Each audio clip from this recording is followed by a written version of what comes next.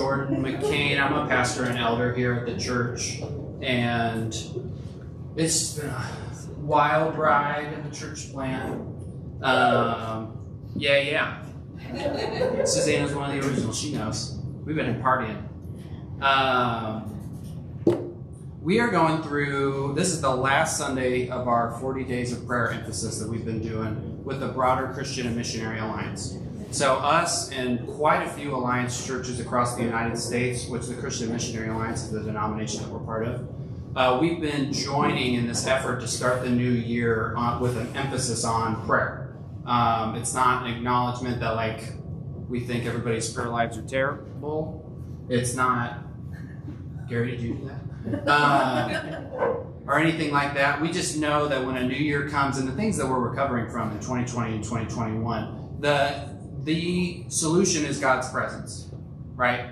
We can do all kinds of different kinds of things, but we know that that's what we need to do is we need to get into the presence of the Lord. We can try to find a bunch of different other answers, but they're not going to be super satisfactory, at least not in my experience so far. And that's what we do in prayer. This is the last one. After this, we're going to go back into our John series that we're doing kind of like systematically, passage by passage. And then when we hit like a few weeks before Easter, and when I have to leave because I'm going to have a baby, we're going to do the Sermon on the Mount leading up to Easter. So we're going to do like baby. having a baby on March 9th. That's my wife right there.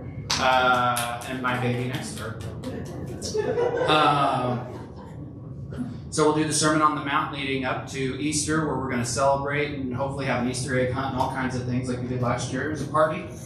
And then we're going to uh, get back into John. So it's going to be a lot of fun. Um, this is version 4.0 of this talk. It's version 4.0 because I restarted four different times. And that's not something I've ever done before. And I was getting really frustrated with it because normally, like, after the second time, I would have just been like, I'm just gonna, I'm just gonna blow through this thing. I don't care how I'm feeling. Like I just need to get this done, which is a really good attitude to have. And um, I just wasn't feeling it, and so I chose to sit with that because I had something weird sitting in my stomach, and I chose to sit with it, and I was journaling about it. And here's what I discovered. Um, let's see if you can do some parallel learning because this is how I was processing it. Today we're going to talk about reawakening to the return of Christ. Uh, you guys know Christ has promised that he's going to come back at some point, and we know very little about it. Um, so here were the three factors that were intersected for me to have a really hard time talking about this that I realized this week. One, I am very rebellious. And when people tell me to do stuff, I get very frustrated. Uh, if you relate with that, we can form a support group. But for me, I just sincerely, like, I just do not like being told what to do. And so when they say, hey, you got to preach on the reawakening and return of Christ, and my immediate response is like, ah, I'm not going to do that. Thank you, though. I appreciate that suggestion. That was the first thing. Trust issues, bleh. Okay. The second thing that's more important than that, I have a genuine, very genuine dislike of the way that eschatology is portrayed in evangelical circles. Eschatology is just the theology surrounding the second coming of Christ, right? So there are people who make a living creating fear in people's lives by using scripture in such a way that they want them to feel scared about Jesus coming back, right? They'll sit down and they'll sit with you in the book of Revelation and they'll interpret all these different aspects of the book and they'll say, look how this historical event lines up with this and this does this and you should be like, he's going to come back tomorrow and your life's going to be over and all these things. And I'm like, that does not sound like Jesus. Does not sound like the spirit in which Jesus would want us to usher in his return, his fear, in my opinion of that. I, I do not enjoy that. Um, people who write books about it, they sell out conferences about it because people are trying to find an escape from the issues at hand. And so we tap into that escapist mentality and we write things like, I'll fly away, oh glory, right? And you're going to like zoom up into the air and you're not going to have to worry about creation anymore. right? You're not going to have to worry about your problems. But that doesn't work. It just doesn't. I'm not a fan of it. I've been hurt by those ministries, and that's my problem. I have work to do there. I just have a genuine dislike of those things. Here's the third thing. This is all for a reason. This isn't like Jordan's sharing hour, okay? You can maybe resonate with me that the Lord's second coming actually scares me a little bit. And ge- to be genuine with you, everything surrounding it is kind of a weird thing. And I was talking to the Lord about this. I was like, I do want to see you face to face, but not yet. If I'm being honest, not yet. I like my life. I like what's happening here. I am not ready to give a lot of these things up or live a life where I'm just ready to go at any moment. I'm just not ready for that. Um, I have resistance to that. I'm definitely not going to like, I'm definitely not trying to rush it, right?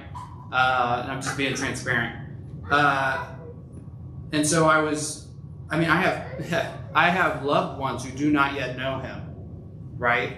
Who I want to have the chance to respond positively to his offer of the gospel. And they will not get that second chance after he comes back. That's scary to me, right? I love these people. Um, so I was walking my dog and I was praying and I was like, Lord, what is the spirit of your second coming? Like, what are we supposed to be carrying with us when we anticipate when you're coming back? Because I do not believe it is supposed to be fear and he showed me Revelation 22. Um, Revelation 22 is the very last chapter of Revelation, right? And at the very, very end, you see verses 20 and 21. So this is wrapping everything up. We're wrapping up some apocalyptic themes. We're wrapping up here's what it means to be a Christian in the world today. We're wrapping up the new heaven and the new earth. He's like, this is what's going to happen. And this is how he wraps up the whole book. You ready? He who testifies to these things says, Yes, I am coming soon. This is Jesus. He says, I am coming soon. And the author responds in this way. Make sure you can see it. Amen. Come, Lord Jesus. Right? The grace of the Lord Jesus be with God's people. Amen. Amen. Come, Lord Jesus. That was really pivotal for me, to be honest because John just saw the craziest things we could ever see that would just blow our minds, right? Like we people spend their whole lives trying to interpret this book. What does this symbol mean? What does this mean? What am I supposed to do with this? Is this thing an Apache helicopter? What am I supposed to do? Uh, and he sees all of this, and when Jesus says to him, "Yeah, man, like I am coming soon," John's response is, "Amen, come, Lord Jesus." And so I was asking him, I was just like, what does it mean to posture ourselves in prayer as Amen, come Lord Jesus kind of people? Where we're willing to look at the things He's asking us to do, the kind of life He's asking us to live, the kind of things He's asking us to lay down, and genuinely, with full hearts, say, Amen. Come, Lord Jesus. This is good, right? This is the way, right? What does it mean for us to live those kind of lives in prayer? To have an eternal perspective of creation. The things we do today matter, but at some point they're all going to end, right? How do we hold that tension? So, you might not be surprised to hear this, but I do think Jesus is the answer to this question, right? And we're actually going to look at the way that Jesus taught us to pray and look at the things he taught us about what prayer is supposed to be and ask the question how does this help us become the kind of people who say, to the hard things of life. Amen. Come, Lord Jesus. So we're going to look at the Lord's Prayer, right? This is Matthew 6, 9 through 15. So if you have your Bibles or devices, I would invite you to turn there. And before we get started, I'm going to pray for us.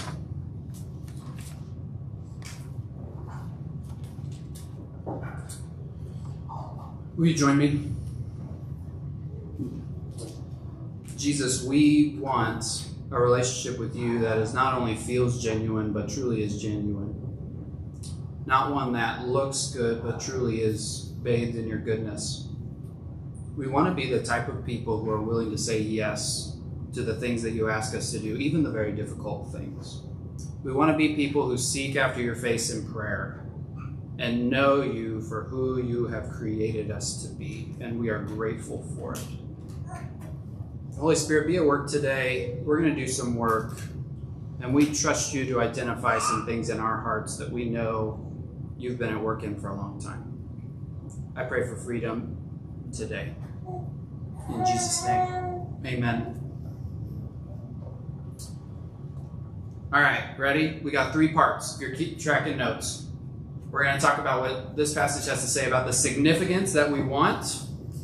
We're going to talk about the outcomes that we expect from life. And we're going to talk about the justice that we desire in life, right? We're going to talk about all these things through the Lord's Prayer. But first, let's read it. If you have it, I have it up here. It's probably pretty small for most of us. I'm going to read it from Matthew. This is the NIV. So uh, the disciples asked Jesus, How do we pray? And Jesus says this This then is how you should pray Our Father in heaven, hallowed be your name.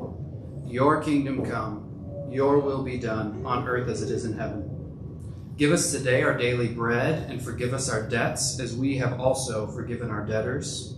And lead us not into temptation, but deliver us from the evil one. For if you forgive other people when they sin against you, your heavenly Father will also forgive you. But if you do not forgive others their sins, your Father will not forgive your sins.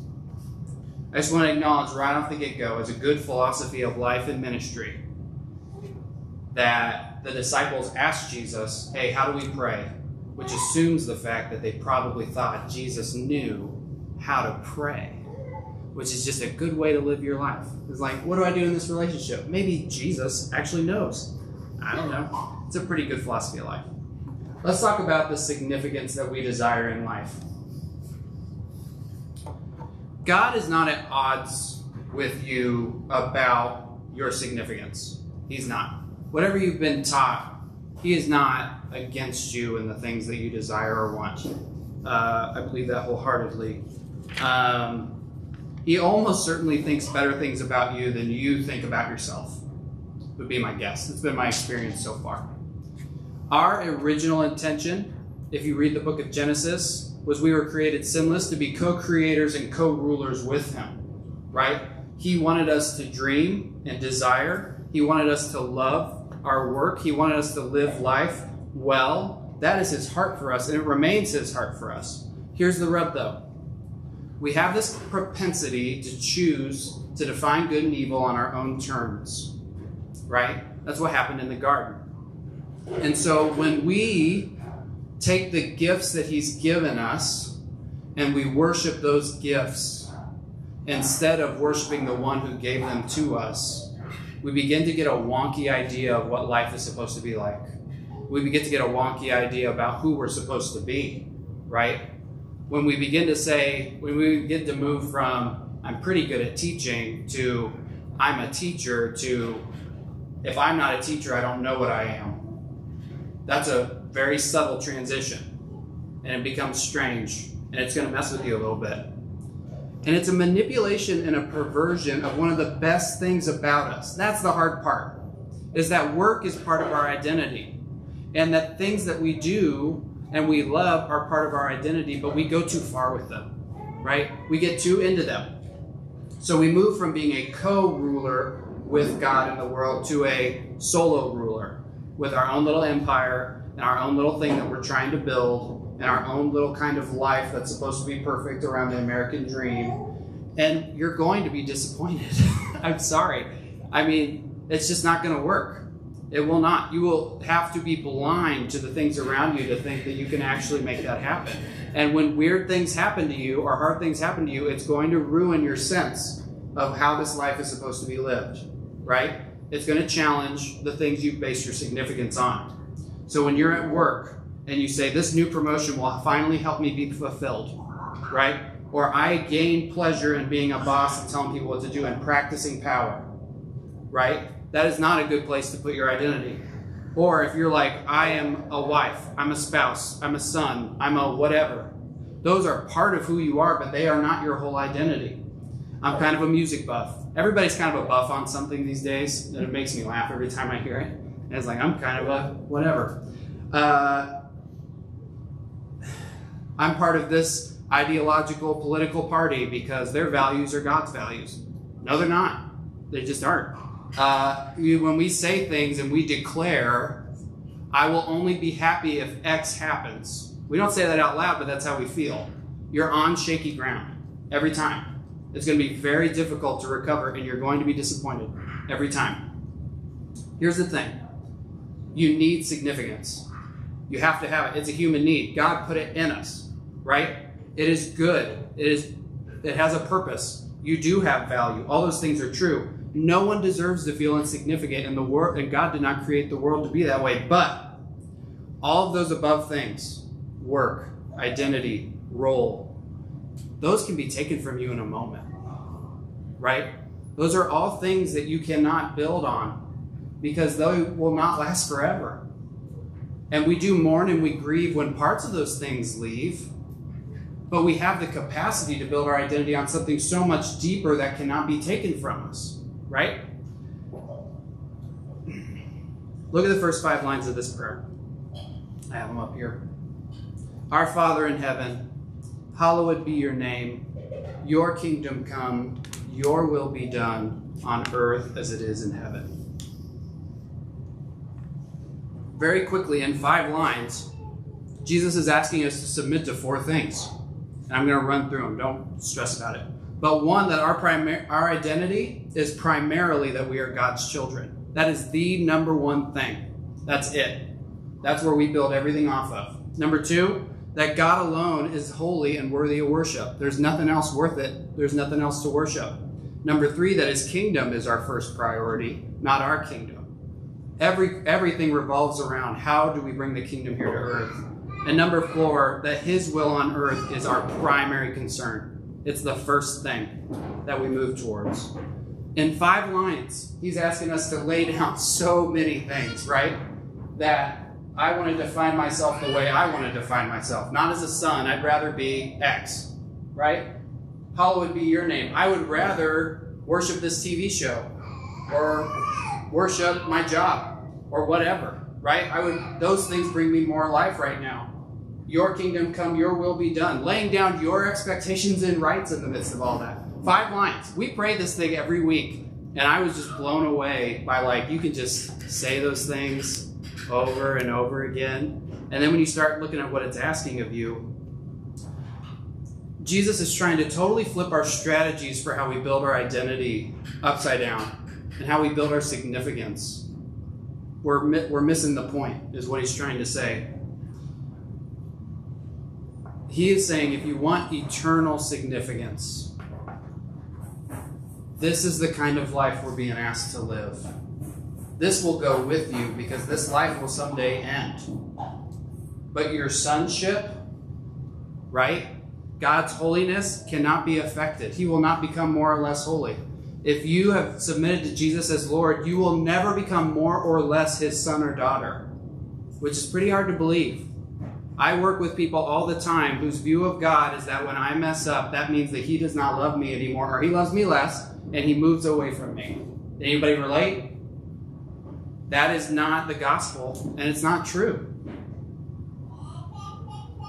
That nothing can stop his kingdom from coming. The only thing you can stop is your participation in it when we choose to step away from it. And nothing is going to change his will in creation. He has created this world that when you live a certain way, it works really well. And so when we see the life of Jesus, Jesus lived as a human being the best way humanly possible. Right? He is the best human. If you want to know what it means to be a good human, we just look at Jesus. Right? Nothing will change his will in creation. And so we have to we have to look at our lives and wonder and be curious about the things that we've built our significance on, the things that we think give us value, and ask, are they eternal? Are they just good things, like the things we like our hobbies or our jobs, things we like to do, things that are very fun? Or have I gone too deep with this? And I won't know who I'll be anymore if this is taken away from me. Right? Those are kind of those are questions that Jesus is asking us. These are the questions we ask in prayer. Number two, we have to ask ourselves about the outcomes we expect from life. Expectations are tricky things. They're very scary if you don't pay attention to them because we expect a lot of things that we don't realize we expect. Some of you guys in this room have been very disappointed in life. I know that for a fact because I know some of your stories, but I also feel it at times in the room. There's a lot of disappointment in our lives. Some of us carry more of it than others. Some of us have been hurt a lot more than others, right? So there's two options when you get into the midst of that. You can become powerless or you can power up. I love watching people who power up. It's one of my favorite things. People who have decided to become powerless is that, well, because of the unmet expectations and disappointments of my life, I'm going to choose to not feel anything at all, right? Which is not a good track to go. Because even if you think about it neurologically, when you shut down one emotion, you slowly begin to shut down every emotion. That's how it works in our brains. They're all connected. So we see people who kind of become these emotionless, unfeeling folks. And it's kind of scary. They feel like life has become kind of futile, right? That they can't actually change anything in their life or their situation. It's too difficult. Then the flip side is, and it's the same coin, by the way, the flip side is, is that you're going to power through unmet expectations by more strongly declaring what your expectations are and forcing the world and the people around you to meet them and being really upset when they don't, right? And if they don't meet it, then you just try harder to make that happen, right? In your midst of your anxiety. So you refuse to submit to any expectation but your own, and you expect the whole world to follow suit along with you. And it just goes really well. Like I've never seen that backfire. Um, don't talk about who you're thinking about in your head right now. It's not good. Um, oops, I flipped the wrong page. I'm sorry.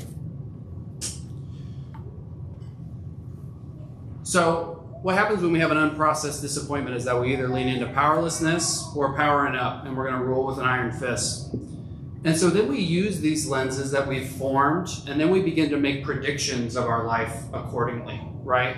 So you're going to get ready to go have coffee with your friends, and you already make the meeting ahead of time. Well, I'm going to have, go have coffee with them, but it's probably not going to go well, and they probably think I'm a terrible person, and I don't know, like I'm just not going to expect any joy out of this because it's going to be too hard, and I don't want to be disappointed.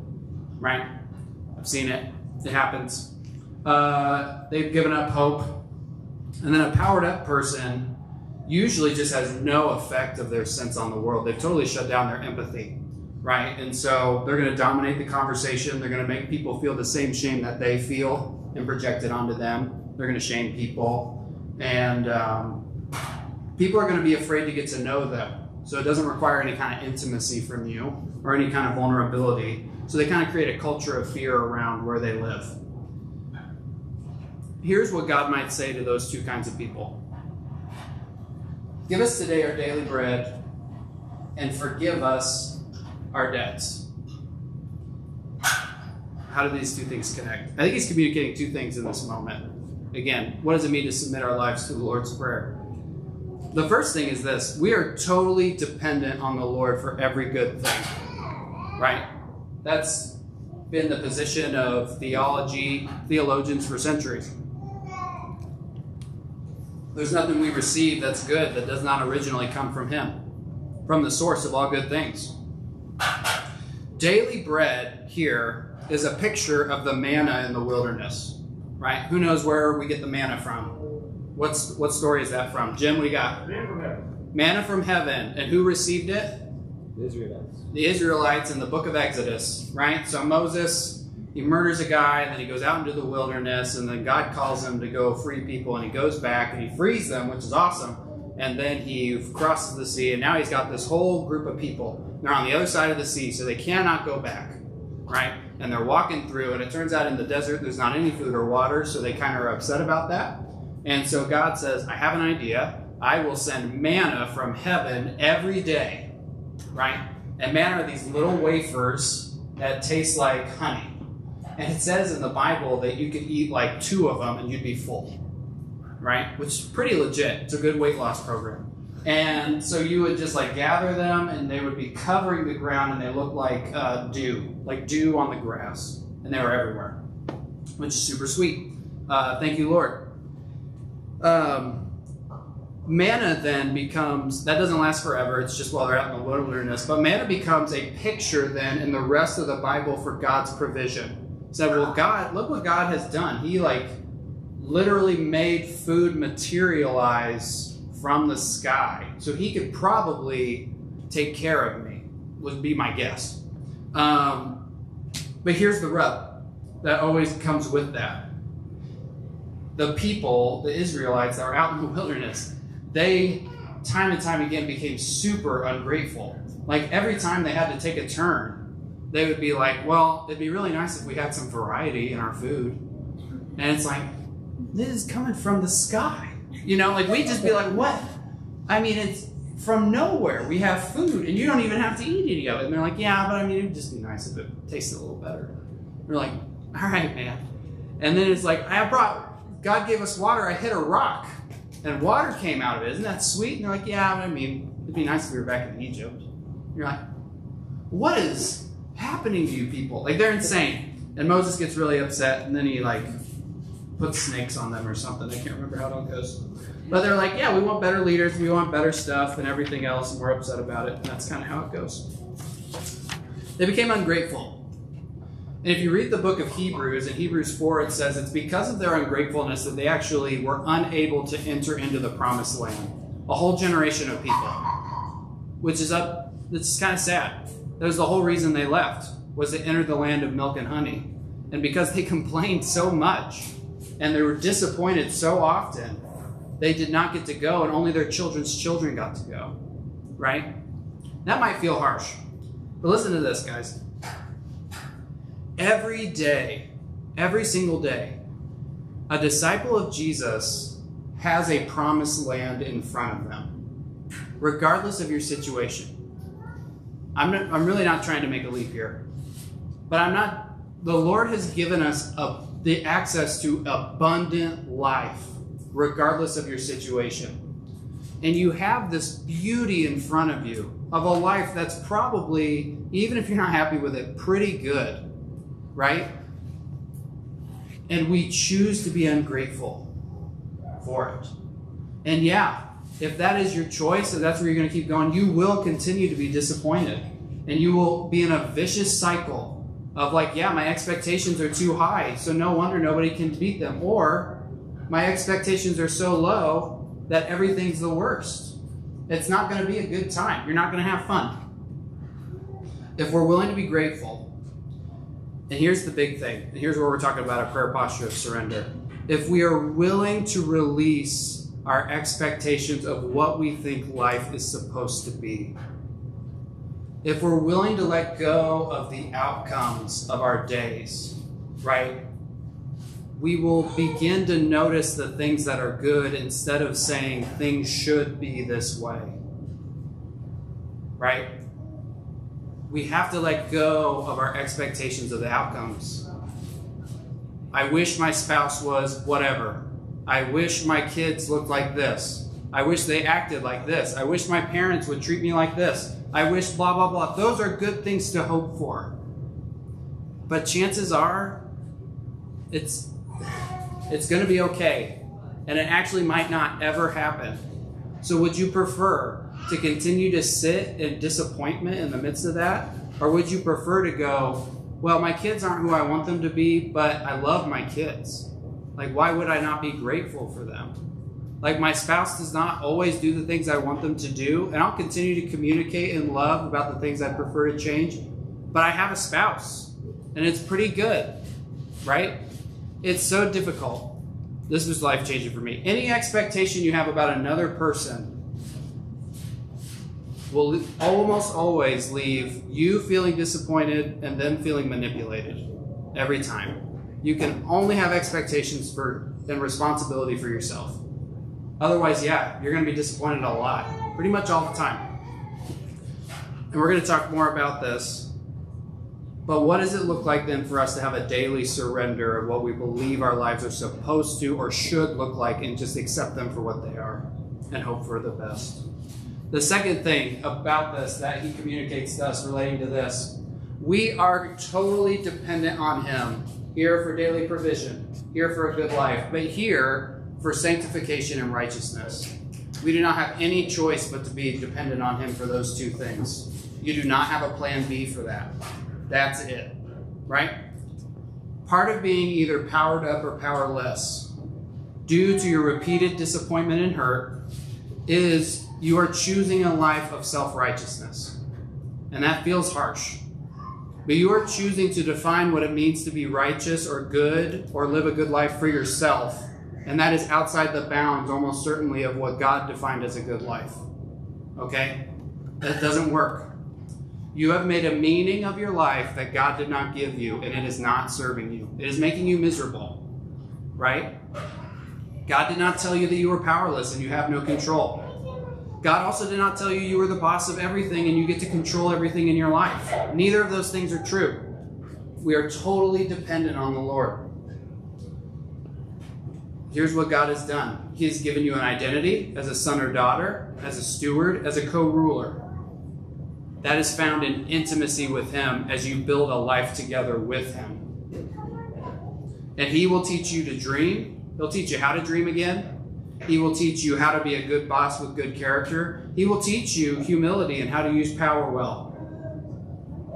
And He will teach you to have hope for joy in the midst of community. But you have to rely on Him for those things. They are not just things that you can muster up from your expectations. Say, well, if I go to a new church that's better and has better community, then they'll fix it, right? That's what should happen. Well, actually, the common denominator of all your relationships is you. If your relationships aren't good, that is probably your problem, right? Which is hard, but it's true. And it's okay because it can get better. But our, our idea of preference and jumping around and hopping, it's not going to serve us. We are trying to medicate something that's ill inside of us that only Jesus can fix. Only He can forgive us. Only He is the source of those good things. It does not matter. God saved you and He saves you daily with a daily outpouring of grace when we seek after Him. And it is a beautiful thing, and He will restore us. And when He says He will forgive us our debts, and He is faithful and just to do so every time, He has promised that. We have to surrender the outcomes that we expect from life. Here's the last thing. We're going to land here and then we'll close up. We have to surrender the justice that we seek. All right? Here's the last part of this. As, I know I finished in the middle of a sentence, so it's not ideal, but as we have also forgiven our debtors, Lord, lead us not into temptation, but deliver us from the evil one. And then he follows it up with this teaching at the end because people would get frustrated. And so he wanted to make them more frustrated by saying this If you forgive other people when they sin against you, your heavenly Father will also forgive you. But if you do not forgive others their sins, your Father will not forgive your sins. That's a sucky. That's hard. I'm not supposed to say sucky. That's rough. Uh, Jesus here points out very clearly that we live in an imperfect world. There's two people who are going to hurt us. There's going to be the people around us who are going to hurt us all the time, like maybe constantly. And there's going to be an evil one, spooky devil, who's going to literally be coming against us on a regular basis, right? And trying to tempt us into sin. These are two areas of extreme frustration, right? But he gives us the resources to persevere. What are they? One, to lean on him so that he can deliver us from temptation, and two, to forgive everything, which is just the worst, right? I made this observation with Sarah yesterday, and I I work with a lot of young people. Young people have maybe, I think millennials and younger have one of the best sense for injustice and the best nose for injustice of really any group of people I've hung out with, right? If something is not fair or if it's wrong they'll immediately just be like, that's not fair. And they'll just be like, yeah, fix it. Am I right? They'll just like call it out every time. Sometimes it's a little too much. Yeah, yeah. I mean, they're they're ready. They are skeptical. They are cynical, they are critical, and if you do anything wrong, they're like, no, I don't like it. Get out of here. And then they yell at you. Uh, here's the thing. I think you're right. I think it, I don't. I this is literal, very in the most literal sense. This is not fair, right? I'm just going to acknowledge that.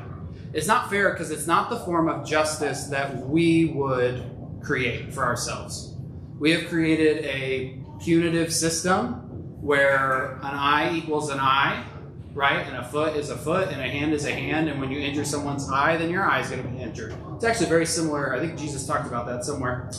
Um, but we've designed a system of justice, and when we did, it does not actually look anything like this. And we just acknowledge the reality of that. But here's the thing surrender in this moment of justice means trusting the Lord, which is very difficult in this moment because He made creation, and so He gets to define what justice looks like, right? And we have to submit to that. And we have to get angry about it, and we have to get sad about it, and then we have to submit to it. And it is very, very, very hard. It goes against every part of our human nature to not hold grudges, to not get bitter, to not say, well, why would I forgive them? They've never even asked for an apology. Those are all the worst things I can think of, right? I am with you in that. People are going to yell at you. People take advantage of us. But here's the thing. Here's the most ugly part is we are disciples and apprentices of our master. And our master lived the perfect human life how did his perfect human life end? I know we're all afraid to say it, but you guys know what it is. What happened to him?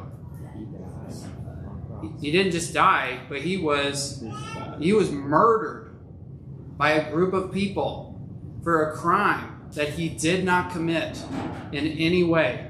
He did not do one thing wrong, and he died. Right? He is our vision of what justice is. Because as he was dying and asphyxiating on the cross, slowly suffocating and losing the ability to move his body, one of his final seven words was, Lord, forgive them, for they know not what they do. And that is awful. That is so hard. we I keep grudges from people for so much more tiny, petty, smaller things that are so frustrating to me. And I will hold on to that and I'll form narratives around it and I'll like treat people. I'll even like go into a situation be like, I'm going to treat them so normal, but inside I just dislike them so much. Right? And we do that. And yet my Savior, who lived the best life possible, forgave me on the cross for the sin of the world. That is not fair but it is justice. That is justice as God defined it. And it's hard. I carry so much unforgiveness in my heart. Every day I have to walk through and check with my heart and see if I have picked up any bitterness in people. One, I'm a sensitive person, but two, we just do it naturally. I have to do that every day because I want to be like my Messiah. I want to be like the one I've submitted my whole life to. I want to forgive regularly because otherwise my heart will begin to turn stagnant and cold and hard. I do not want my heart to be that way. How are we supposed to carry this around, this bitterness and this frustration, when justice is the Lord's? That's the question we have to ask ourselves. And how do we surrender it? Here's what I'm learning. Here's where we're ending. And then we'll move into our response time here's what I'm learning on a daily basis. Whenever we choose to surrender any of these things to Christ, when we hand them to Him, He hands it back to us better.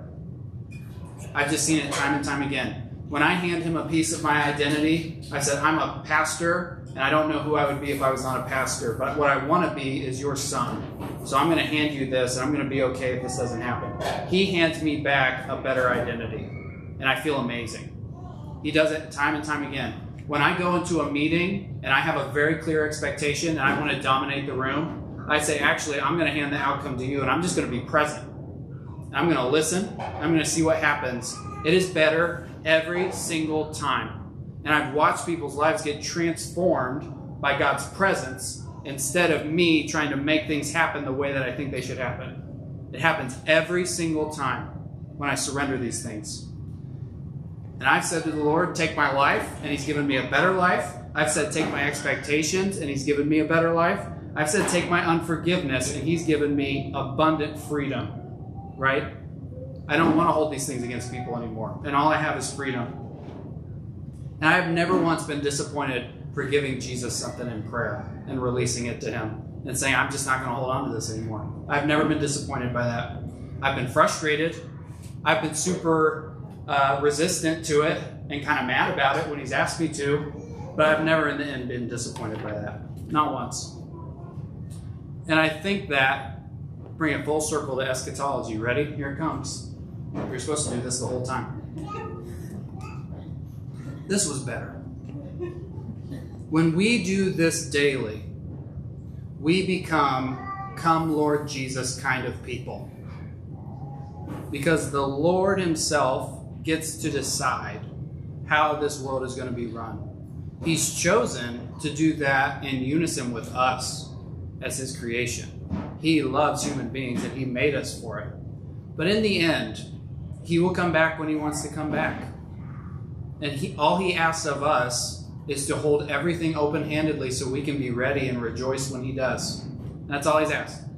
I do not think there is much that you can say about His second coming with much accuracy or like predictability. I've spent a lot of time on it. I, I just don't think that there is. Um, I think it's a good hobby, and that's all it should probably be, to be honest with you. Um, I think you would be much better spent spending your time studying the life of Jesus and how he lived than trying to figure out how he's going to come back. But he is going to come back, and we are called to be expectant and surrendered to that. And it does mean to accept that God has a better plan for you, for your life, than you do for yourself. And He loves you more than you love yourself, and He has better expectations for you than you have for yourself. And He is not afraid of anything going on in your life. In fact, He's excited about it, and He's going to enter into it with you. That's what I, that's my, that's my thought. Every week, we end our teaching time with the expectation that the Lord is going to meet us there. Uh, that we know that He is at work in our hearts. And I would find it really hard to believe, I could be wrong, I'd find it really hard to believe if He has not identified for some of us a very clear one or two things that He might be asking us to surrender to Him today.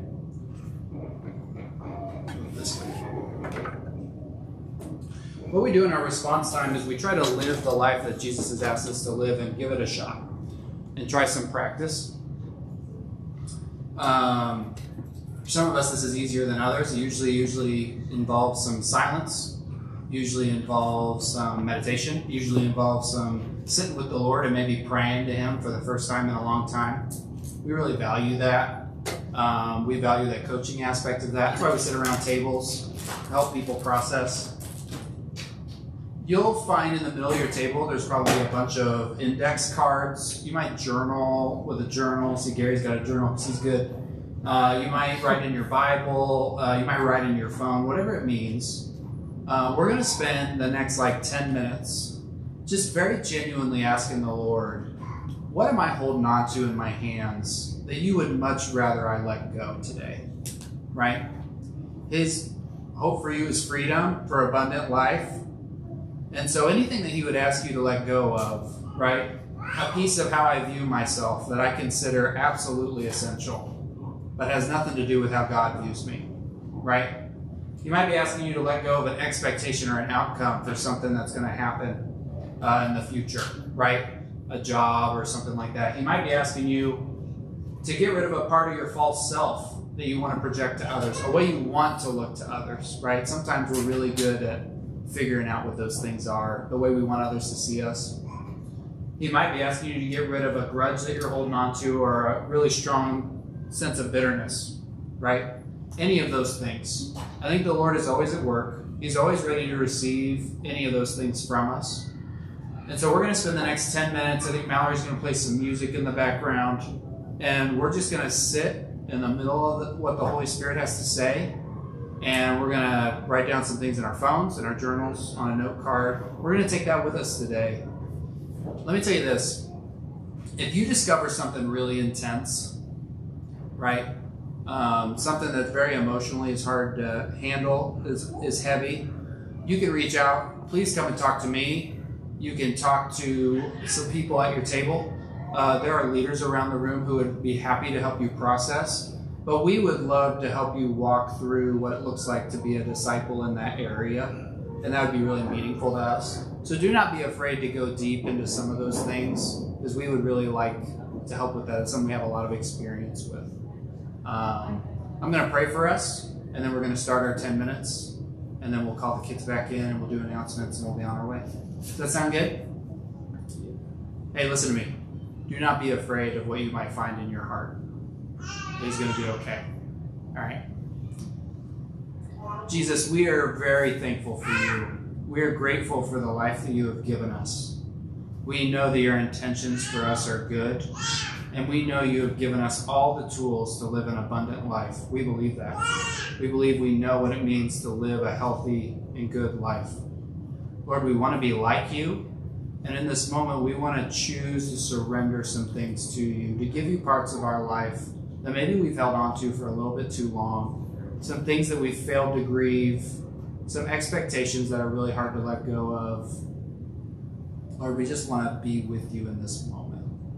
I'm just going to pray, come Holy Spirit, meet us here today, and just help us to process some things that might be really important to you and might change the trajectory of our futures. In your mighty and holy name we pray. Amen. I'll be back up in a couple minutes.